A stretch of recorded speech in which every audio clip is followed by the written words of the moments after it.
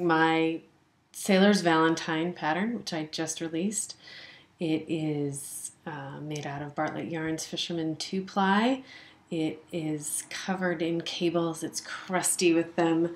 Um, twin waves on the sleeves, reef knots on the front, some sailor's ribbing at the edge. It happens to be hoodie, which, um, thanks to the hybrid yoke, courtesy of the amazing Elizabeth Zimmermann. It has some heartstrings uh, cables that go all the way up the back and up the hood to the front.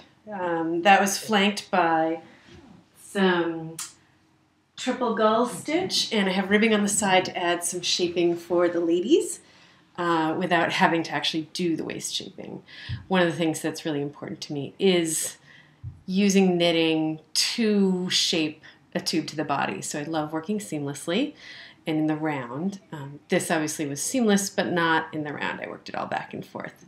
It was all worked in one piece and um, all the way up through the hood, which I ended up using a turned uh, turned heel, uh, like a short row heel for the hood, um, the way you would turn a heel on a sock.